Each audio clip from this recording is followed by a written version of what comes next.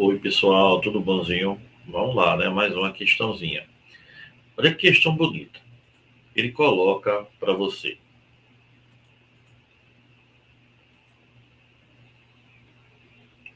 O zinco reage com ácido sulfúrico conforme a reação. Balanceada, né? Tá balanceada, ainda bem. Aí ele diz: se partirmos de 2,66 gramas de zinco, quantos gramas de ácido sulfúrico são necessários? Vê, pessoal, zinco, a massa molar do zinco é 65,4 gramas por mol.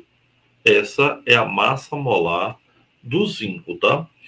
Ele tem que, obviamente, dar na prova para você, tá bom? E a gente tem uma tabela periódica no início de todas as questões. Aí ele diz também: se você tiver um mol de zinco, que é 65,4 gramas de zinco, quantos gramas de ácido sulfúrico? Ácido sulfúrico também é dado na prova, que vale tem que ser dado, hein? 98 gramas por mol.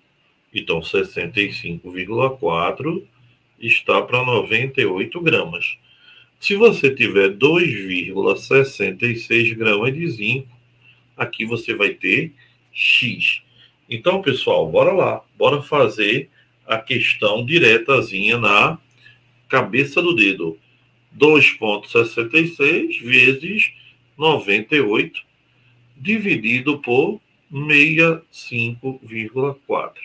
Isso dá aproximadamente 3,98 gramas. Questão bem bonitinha para todo mundo, né? Então, bem direta também, sem muito trabalho. Lembrando que as massas molares devem sempre, sempre devem ser dadas, tá?